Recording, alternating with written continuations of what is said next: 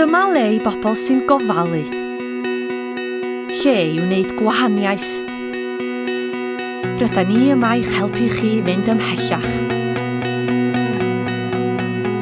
Mae pob chwerthiniad a gwen yn amser i wneud diwrnod rhywun yr ychydig bach gwell. Cymryd cyfrifoldeb am les unigolion ym mhob agwedd o'r proffesiynau gofalu. Oes gennych chi'r hyn sydd ei angen?